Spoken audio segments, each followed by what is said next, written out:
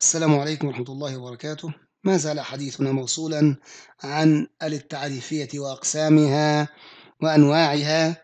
فنتحدث اليوم عن القسم الثاني بعد أن تحدثنا عن ال في القسم الأول تحدثنا عن ال التعريفية العهدية. اليوم نتحدث عن ال الاستغراقية. وهي الداخلة تعريفها؟ هي ال الداخلة على واحد. من جنس بعينه لإفادة استغراق كل الجنس وشموله كله. تدخل على كلمة من جنس واحد لتدل على إفادة الاستغراق وشمول الجنس كله.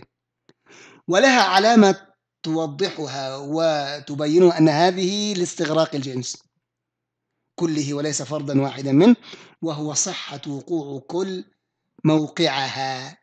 أن يحل محلها يصح لغة ومعنى أن, يح... أن نضع كل محل ال.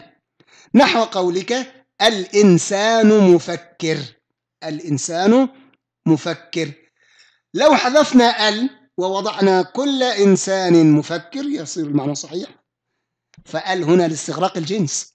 لماذا؟ لماذا قلت هذه الكلمة؟ لأن لو حذفنا ال ووضعنا مكانها كلمة كل يصح المعنى. ومن ذلك قول الله تعالى إن الإنسان لفي خسر إلا الذين آمنوا وعملوا الصالحات. طيب فكلمة الإنسان هنا دخلت عليها ال لاستغراق جنس الإنسان. يبقى إن الإنسان لفي خسر إلا الذين آمنوا وعملوا الصالحات. هنا الاستغراق الجنس بدليل ماذا؟ بدليل الاستثناء.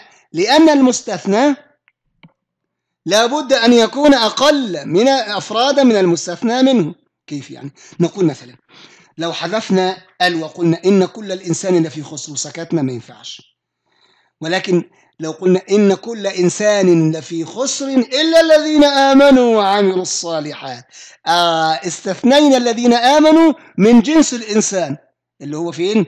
في بداية الآية اللي هي كلمة إنسان فالمستثنى دائما أقل من المستثنى منه فال هنا لاستغراق الجنس فلو حذفنا وقلنا إن كل إنسان في خسر إلا الذين آمنوا لا صح المعنى فال هنا استغراقية تعريفية.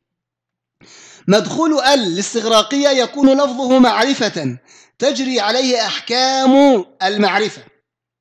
في الإيه؟ كما تقدم أول باب العالم.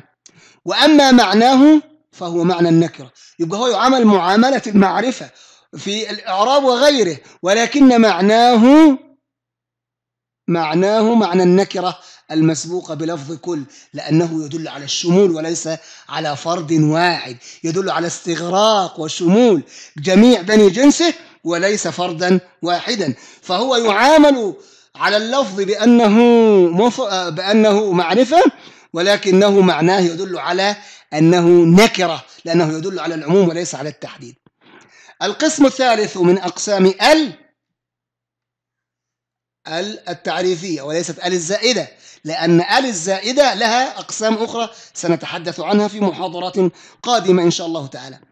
ال التي النوع الثالث هو ال التي للحقيقة وهي التي تدخل على لفظ الجنس لبيان حقيقته الذاتية القائمة على في الذهن دون التعرض لأفراده. يعني هو ولا تخلفها تفرقها عن عن السابقة لاستغراق الجنس لا يصح أن تدخل وتحل محلها أن.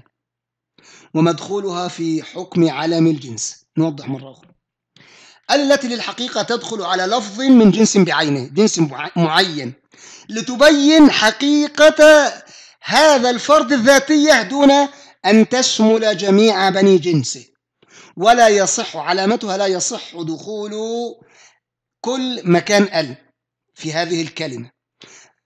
فهي في حكم علم الجنس الذي تشمل بني جنسه كقولك مثلا الرجل خير من المرأة.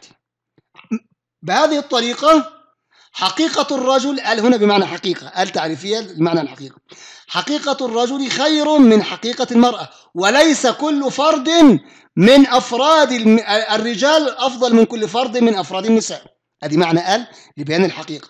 أي الحقيقة على العموم على العموم زي كما قلنا في حكم علم الجنس. أفضل مثلا الله يعني إيه؟ قد يكون فضل. الله سبحانه وتعالى قد فضل فضل بعضكم على بعض. فهنا ال تدل على تفضيل العموم أي الجنس كامل أو حقيقة الرجل كامل عن حقيقة المرأة. وليس كل فرد فقد تكون من النساء من هم أفضل من من بعض الرجال. هذا إيه؟ هذا لا لا, لا يمانع عقلا. أي أن حقيقة الرجل وجنسه خير من حقيقة المرأة وجنسها دون النظر إلى الأفراد. فقد يوجد في النساء من هي خير من بعض الرجال ويوجد ووجد وما زال وسيكون كذلك. ومن ذلك قول الله تعالى وجعلنا من الماء كل شيء حي أي من حقيقة الماء لا على العموم ولا على على جنس الماء آه، كل شيء إيه؟ حي.